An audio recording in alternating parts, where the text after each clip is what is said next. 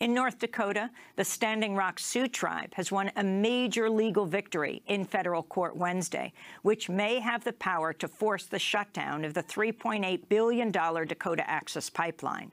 On Wednesday, District Judge James Boasberg ruled the Trump administration failed to carry out an adequate environmental review of the pipeline after President Trump ordered the Army Corps of Engineers to fast-track and green light its approval.